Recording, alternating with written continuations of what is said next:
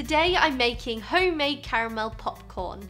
To make the popcorn, pour your vegetable oil into your pan and give it a swirl to make sure the bottom has a nice light coating of the oil.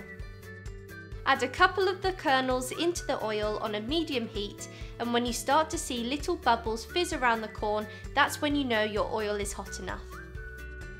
Add the rest of the kernels and give the pan a good shake to make sure they get a nice coating of the oil and then cover with a lid. From here it will take about 2 to 3 minutes for the popping to begin. Once it starts popping, make sure to give your pan a shake every so often to keep the popcorn moving and to stop any of it from burning.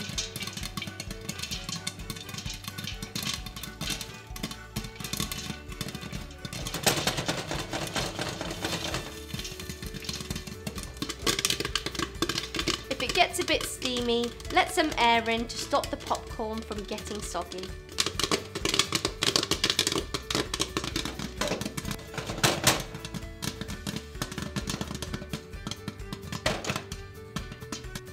Take your pan off the heat when the popping begins to slow down, as we don't want to overcook the popcorn, and then the remaining kernels should carry on popping with the heat of the pan.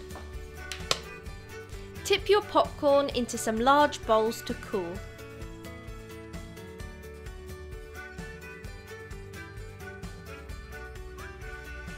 To make the caramel, add your butter into a heavy base saucepan, followed by your caster sugar and 2 tablespoons of honey.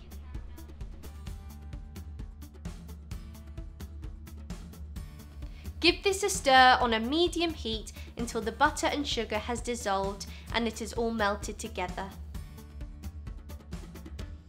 Wipe down the sides of the pan with water to prevent any of the sugar crystallizing on the edges.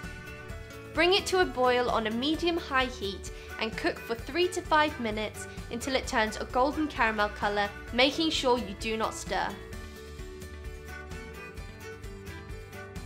Once you've reached your caramel colour, take it off the heat and pour half over half of your popcorn and using two spatulas as the caramel will be very hot, toss the popcorn to give it a good covering of the caramel.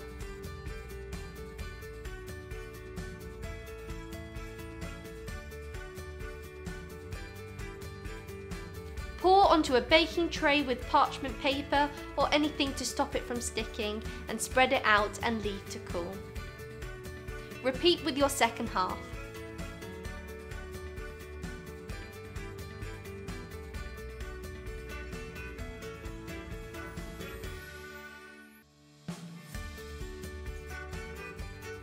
Once your popcorn has cooled, break up any of the bigger chunks of popcorn and serve.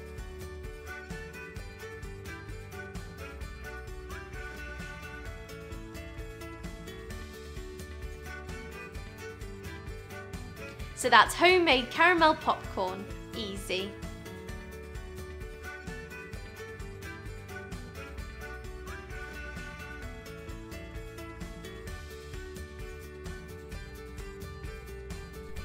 For more videos, subscribe to my channel. If you enjoyed the video, give it a thumbs up and feel free to leave any requests in the comment box below.